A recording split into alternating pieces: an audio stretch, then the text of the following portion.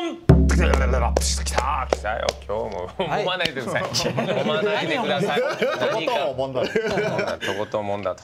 さあまあねガンバ大阪戦と書いておりますが、ユッティさんが今日もオンエアでもそうですけどもうずっと楽屋から熱い、いろいろ思うところあると。やっぱ愛するべき。浦和に負けたくないだからこそよねそだって終わった後もグループラインで悔しいってみんなに。ね。そうですね。誰も反応ねえからちょっと寂しかったの いやいやもう無言の悔しさだよあれは。そうか。うんいろいろ。なんかどうなの？やっぱそのやっぱこう攻めた方がいいんじゃないかという。そう僕はねどうせもう言い方悪いですけど守って守って毎回負けてるわけじゃないですか。最近はね。そう、うん。だからね攻めりゃいいじゃんって思っちゃうんですよ、その分かります？よ後半まあもう残り5分。10分ぐらいになって守備の選手1枚入れるのはいいですけど、ここ2人がいなくなったわけじゃないですか。交代ってなったわけじゃないですか、もう本当俺これでいいと思うんですよね。だって怖がられてるわけじゃないですか。もともと裏は、まあバンツはさんにね。そうだね。だってここが怖かったわけでしょ、いやなんか俺の見に行ってたゴール裏に行った裏のサポーターが翔也と川野にが本当に怖かったんだって。多分見て作ってまずこてるわと。僕らから見てもすごく良かったじゃないですか、うんでここが変これをわっ変えるんだったら僕はババーンズで良かったんじゃないかと思うんですよ。まあでも試合に出てなかったっていうのもありますけど、まあしばらく、まあどれだけねコンディションが。そうそうそういうのもあると思いますけど、じゃあ別にインスでもいいのかなと思ったんですよ、この攻めの選手同士で変えた方がいいんじゃない？じゃあかといってじゃあそこで攻めの選手行って逆転負けするとそれはそれで叩かれたりはするもんですよねきっと一平さん。どうですか？ちゃ意味としてはまあでも最近の結果を見るとユッティの言ってるもなんかちょっとチャレンジしてみたいなって気がする。でこの番組で、えーずっと始まってから言ってきてるのはあのーいろんなこと言ってきてるけど、チームに対して俺はなんかチャレンジしないとそこからあれ課題見えてこないよってやりきらないと、けえー結果だけ求めるんじゃなくて課題も見つける意味でもやりきらなきゃダメだっていうことも言ってきてると思うんだけどそういう意味ではその戦い方特にそのゲームの終わらせ方っていう言い方してるけどその5バックにしたサッカーをここ23年ずっと見てるじゃん。はい。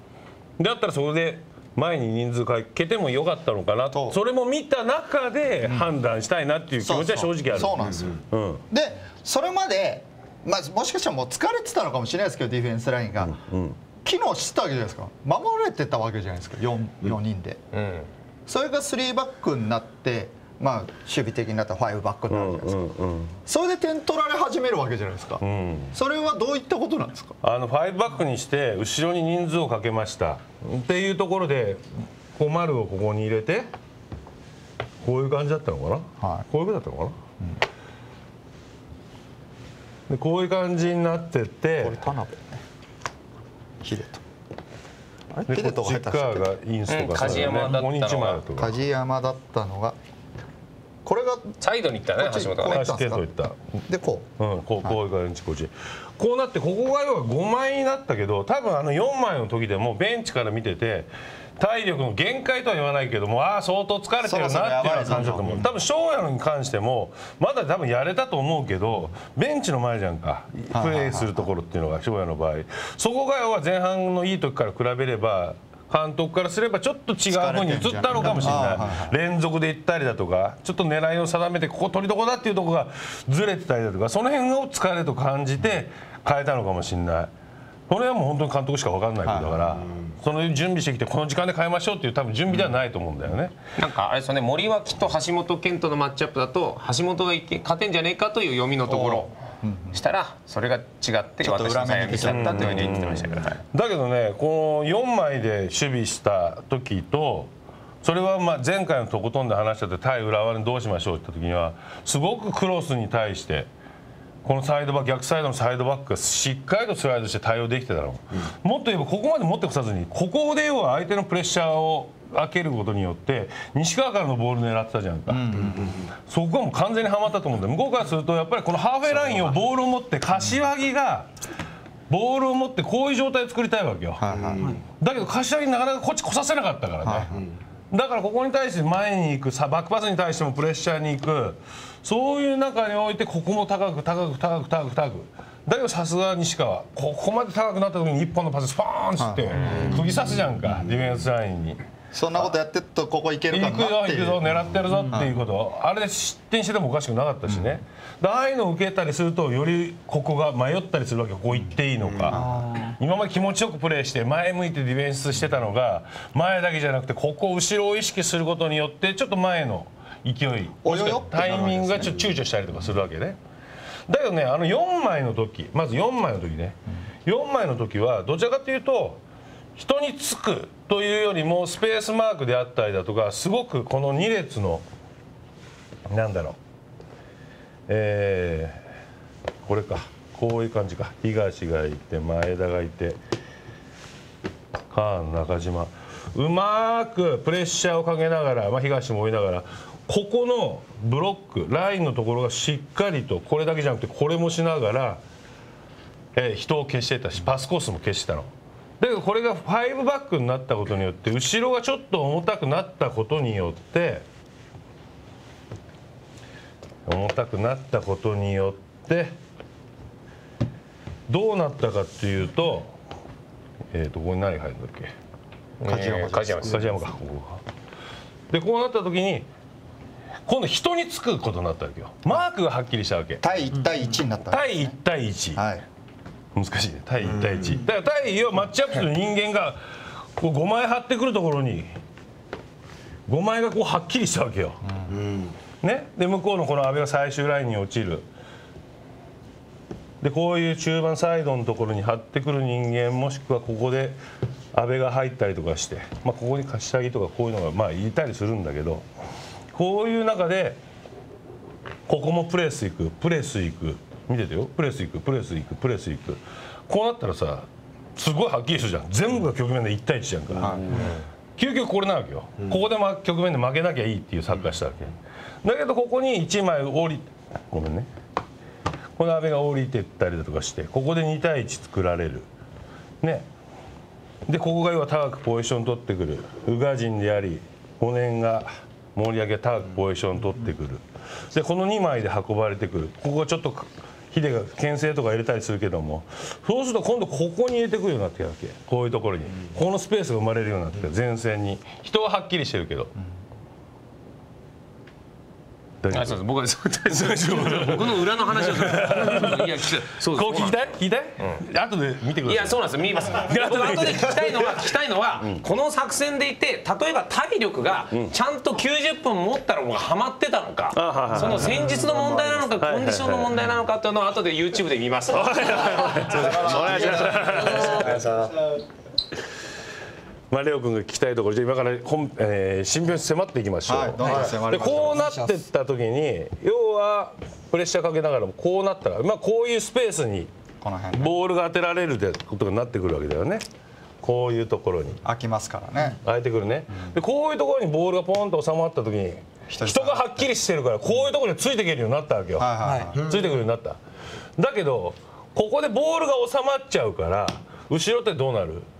後ろの選手ってここにいるけどこういう引いたやつに対して人がついてってるけど、こうなったらどうなる？ここスペースこう行きたくなる。スペースも見なきゃいけないし人も見なきゃいけないわけだよね。ね？ここははっきりするけどボールのところは、はい。ここは怖くなっちゃうわけですねこういうところ決まる。そうすると必然的にこうなってくるよね。ずれちゃうんだ、はいずれてくるね。ましてやボーボールから遠いとくなればなるほど、はい大丈夫ここの距離っていうのが広がっていくわけだ、はい。ここの距離が。ね、じゃあここからじゃあもう一回ここでモンと落として、プレッシャーにここにガーッとかけに行く、はいでもう一回下げます、はこれの続き続きずーっと動かされてるわけよ、マークがはっきりするけど前半の時はプレッシャーっていうのは予測していけたわけ。ここだっていうのに踏んでいけたわけ、けどこうやってマークがはっきりすると全部相手に対するリアクションになるわけ、はい相手がどうするかっていうところに対してそれに対応しなきゃいけないこれで体力って相手次第になるわけですそう相手がこうしたからこうしなきゃいけなくなるわけ。自分たちからまだそう言って追い込んでいくだとかそういう守備じゃなくなってより一層個の能力が求められてくるってことは相手の動きに合わせなきゃいけないってことは体力が多分いつもの倍ぐらい消耗するわけだ。精神的にも疲れていく、疲れてくるし追い込まれてくるし。抜かれたらまた別の人をカバーしなくちゃいけないしってことなんですね、でそれで今俺が抜かれたらアウトだって思いながら守備してるってこといやここで一発カランってかわされたらもうダメなわけよ。っていうことですね。そしたら次誰が出てくるって言ったらもうここ出てきたりしたらこいつが相手くるそれじゃあここが開いちゃうってことですもんね。そこをうまく使えるのが浦和の攻撃なわけよ。ね。えーまあ、しか川崎が点取ってるけど失点は浦和一番少ないよねリーグで。でなおかつ攻撃陣も攻撃的な選手も得点は上位3位かなんかで、上位にいるだけやって崩し方知ってるわけ。ここここでの1対1がフィールドプレーヤーの中で10個できたとしたらもしくはここから後ろのところでしたら8対8がはえー1対1が8個できた、局面ができたとしてマークははっきりするけどもボールに対してボールが奪えない。ここの1対1勝てながらいつまでたってもボールは奪えないそうなってくるとだんだんだんだん体力も消耗してくる。でやらなきゃいけないことが増えてくる。体だけじゃなくて頭も疲れてくる、でそうなった時にやっぱり最後同点に追いつかれたけども2点目3点目っていう失点はそこから要は連鎖してきて与えるダメージってなっちゃったってことか。でなおかつ5バックにして守らせたことによってそこから点取りに行きましょうってもう一回ギア上げるのってすそう簡単にできることじゃないのよ。攻め攻めの布陣で点取られたら「いやいやこれいけいけいけ」うん、ってなるけどって輪をかけていけるけど、はい。こっからじゃあファイブバックから室谷行けはい徳永行けっていうようなサッカーにならないわけ、だから失点の時だけ徳永も常にもう後ろにいっちゃったし、攻撃の時にどんだけ前に関われたかっつったらその辺は3バックをずっと徹底してやってきたチームじゃないから難しいわけだ、5バックにして思うツボだったってことですか？浦和思うツボだし前半のプレースによって一番の、えーミスというのは、えー浦和からするとボールが運べなかったの。まあ人が来るから。人が来るしつなごうとしたらそこ来るから。でそこで無理したパスしたのを全部引っ掛けたんだ。でこうシュートまで持ち込むだけど後ろに人数かけることって何のストレスもなくここのハーフウェイを超えていけるようになっちゃったわけだ。そうですね。運べるようになっちゃったわけだ。だからここが一つだと思う。だからもちろんねここで守ることはできるのかもしれないだけど浦和のサッカー特に攻撃陣は誰かが FC 東京のゴール前の精度とは違ってここは正直高いと思う、1枚も2枚も上だと思う、これ何かっつったらワンタッチ1本2本3本ぐらいパスが回ってシンプルにシュートまで行く形を持ってるわけよ、この間のゲームでもあったけど、ですね。で何かっつったらねこうちょっといい真ん中でいい？もしこういうところにフォワードがこう前に張ってたとしたらここからもらう動きフォワードがもらう動き、ね、これまず一つの動きだよね、ここ選択肢として持てるよね、じゃあ今度ここがもらおうとしてここに空いたスペースにここに入ってくる動き、ね、これ2つ目の選択肢持ってるね、この選手からすると。これを取りにここ使う。ここもし今度ここに来たらここに入ってくる動き。3つぐらい選択肢持てるんだ。このアタッキングサードの中で。それぐらい連動してる。でもし今度ここに入ってる。この何秒か1秒2秒の間でまたここにボールが入った瞬間にこの選手が3つぐらいの選択肢が持てるような動きがもう連続してこできるわけ。の辺も入ってくるんだ。だからあんなに動いたように見えるゲームだけど試合終わったら浦和の方が走ってんだよね。数字的には。だから簡単に言うと浦和はポジティブな走りをしてるから疲れないというかそうそうそうそう。その東京の場合は守り守りがネガティブなわけじゃないですけど相手に合わせたネガティブな動きをするから疲れる受け身のね。受け身のサッカーになるから。だけどそこでもしかして本当紙一重だと思うんだ。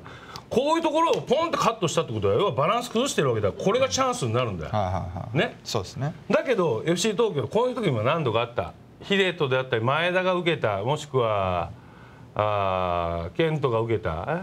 東がこう逆サイドでポンってこういうのを引っ掛けて展開したじゃあその選手がボールを持ってたとしてももうここでこう止まっちゃってんだよ。疲れちゃってるから。うん。浦和はここでボールマイボールになった瞬間にこの選手に 3, 3つは最低選択肢があるのにこの選手には持ってって持ってあれ誰も来ない誰も来ないっていう間にガッガッガッと囲まれちゃってボールロストはいもう一回やりましょう戻りましょうっていうサッカーになるわけだ、まあ、これだったらやっぱ疲れていくよね。そのあの時丸山選手と秀人選手が入ったじゃないですか、うんうんうん。まあどっちかでもいいですからどっちか入ってたらやっぱちょっと変わってたんですか？前からプレッシ例えばインス選手だったら前からプレッシャーいくじゃないですか、うんうん。やっぱちょっと変わってたんですか？だけど実際0-0もしくは1-0で勝ってる状態で最初のカード交代カードもしくは怪我であったり完全に体力的に消耗しちゃってもうエンプティーランプついてる選手だったら変えるのは判断できるけどそこで攻撃的な選手をもっとより攻撃的なシステムにするっていうのはここ最近ないよね。そうか。J でもなかなか見られないサッカーだし。じゃあ川野選手は結構交代するじゃないですか途中で、であの時じゃあ交代してじゃあまあ丸山選手入りました、1枚だけ、でしばらく様子見てちょっといけるじゃんいけるじゃん。15分後ぐらいにユーインス選手が入るっていうのはあったあってもよかったってことですか？あってもよかった前から追い込んでるのが調子よかったからお前もうちょっと今疲れてるから追い込んでこいっていう入れ方みたいな。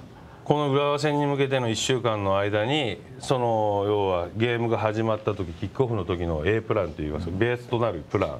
ゲームプランがあってそこからゲームの状況勝ってる状況引き分けの状況負けてる状況そこの要は3通りの中でいくつかし何、えー選択肢を持ってるプラン的に持ってる。それを選手に落とし込むには1週間は難しいわけよ。足りないか。そうなった時には負けない。もしくは勝ちに行く負けないサッカーってなった時にはやっぱりこの1点をどうする？もしくは0-0の局面を自分たちからアクションを起こして崩したくないからちょっと我慢してっていう粘り強い守備的にはなるそうんですね。だと思うね。1週間的だとすると。悔しいな。難しいですね。これがもし前半0-1で負けてたはい状態だったらあるかもしれない。まあ先にね。攻撃の選手をねいやなんかなんだろうな。もう作戦からして俺相手に合わせちゃってる気がするんですよねそしたら。あストロングスタイル浦和さんにね。ないっていう。だからさっき本編でも話したように、浦和はこういうことができるのは、要は普通のサッカーなのよ、はい。彼らは。ここでもういつもどこ相通りの手でもやりますうん。いつも通りの私服なんですよ、もう完全にタキシード着てたもんね準備してね、ね。よそ行きのサッカーしちゃったというか、この対浦和に対するゲームプランに対して選手にガーッ落とし込みもしくは選手がそこを意識してやってきたがそれがうまくいかなかった時の反動っていうのが俺は3点目にもつながってると思うんだよ。2点目3そ点目に。れがいつもなんですかね？ってことはじゃあ前回もそうですし2点。いやそれだけじゃないかもしれないけどそこは僕は影響はしてると思う。でも苦手意識みたいなとこいやろ僕はね本当にねファンもねやっぱ裏に対してね、やっぱネガティブになってますからね。僕だって見ててこれ1点取られたら逆転されるんだろうなって思って見てましたで見事1点取られて逆転されたじゃないですか、ファーストステージでも森重が 2, 2得点した後に勝てる気がしなかったそうだからやっぱりね、東京に、ま関わる皆さんがね浦和さんに対してちょっとね気弱になってるんですよ。おとなしすぎますねね一つ前向きなのは俺はあのファーストステージの敗戦と今回の敗戦は違うと思うのよ。ほう。今回のがいい。やろうとしたもん。そうか、自信持ってやってたもん、俺最後やっぱりちょっとガス欠感があったのよ、やっぱり選手の中で、ああだからそれぐらい今回は気持ちも入ったし、1-0でよしいけるもしくはそんなまだ早い時間があっただからね、早かったからあの1点取ったのか。だけど本当にこのチームが FC 東京というチームがタイトルを取ろうと思うんだったら、前半からのあのサッカー0-0だろうが。ね、1-0だろうが。で勝ってる局面だろうが、あれが俺90分じゃなくて120分続けるぐらいのベースがないと絶対勝てないと思うよ。ということはレオ君が言ってたそのフィジカルがまだ出来上がってなかったんじゃないかまだ出来上がってないというか今シーズンそういったところでの最後の追い込ん10だ最後10分15分での失点が多いわけじゃんか、そうですね。その辺に数字には表れてるとそうか思うんだよね。疲れない体を作りなさい吉本も認めてたじゃん。ちょっと最後はもうへばって動けなかったって。じゃあなんか海外から怪しい薬をもらうしかないですね。スタミナ増幅剤みたいな。そうだね。そうだねじゃない。散々真面目な話をして合法的なやつや合法。的なやつやあったらいいんだけどね。ギリ合法のやつ。ギリ合それはもう法のアウトです。よやつをあのカズさんが飲んでるやついいんじゃない今カズさんが飲んでるあああれね。大丈夫なんですか？いやいや。だけどやっぱそれぐらいじゃないと。90分じゃない。120分。走れる力ないと、これルルバンはどうですか？次の2戦はまた同じ感じ。ルバン感じになっちゃうんではすかね。これは一つやり方、うん。まあ、代表が抜けたりするんでね、だから違うことにチャレンジもしくはあそこからもう一個違うところにステップアップしてもらいたいのよ。だからに、えーゲームの入り方は一緒かもしれないけども試合状況に応じたらユッティが言ってた。そ攻撃的なサッカー、どっちかの試合でそれ試してほしいの。もう打ち打ち合いますせっていう開き直りのサッカで今シーズンまあ4年の怪我もあって、でバーンズも今じゃあんまり上がってこない。ユーインスもどちらかというと戦術的にはやっぱりまだちょっとそんなにという感じでもないね。うんない。まあ翔也が90分やれるようなスタミナであったりだとか、それぐらいになってくること。で阿部ちゃんもいないじゃんか。ーそうねね。いや本当だから水沼選手あたりがねトップコンディションであればコンディションの問題ですか？水沼選手は。うーんそうだな。そうこの間の J3 見ててもやっぱりあの点取ったはいいけどそれ以外のところでちょっとやっぱりミス多かったしね。水沼選手あたりがね、これ？まだ早いまだ早いまだ早いな。ガンガン行ってほしいっすよね。後半10分。最後、限定？うん、状況にもよるけど。そうですね。もうあとはだからもう最後1点1対12対1になった時にマヤミキ呼んで諦めないでって言ってもらう そそっくりさんでもいいよ。そっくりさんあの篠田監督の横にあんまさんマヤミキこれこれこれでいいんじゃないですか。だからマヤベンチベンチも戦ってたけどねあの時篠と向こうの通訳とでね。いやうん。確かに。森脇も含めてガンガンやってたからあれもやっぱり戦う姿勢は出してると思うし。だけどやっぱりこう選手たちにもしくはその現場のスタッフ含めた選手たちにはまたちょっと違う形っていうよりもあそこから何かこう進歩した形っていう来季以降につながる対浦和のゲームに対してつながるもしくはセカンドレグにつながるというようなサッカーを見せてもらいたい、ね。あとこの番組からすればにまず苦手意識をこの番組からなくしましょう。確かに絶対勝てる雰囲気で。そうですね。勝てますえ次は。ー篠田監督あんまさんえー、マヤミキ松岡修造、この4人ベンチでこうすればさすがにですよ、ね。最後。というわけでガンバ戦。の話でやっぱりバカだけないですよね次は。やっぱり。まあガンバさんにも勝ちますよ。ね。ガンバさんのファンの方ね、はい。はい。はい。堂々と戦いましょう。というわけで、えー、とことんでした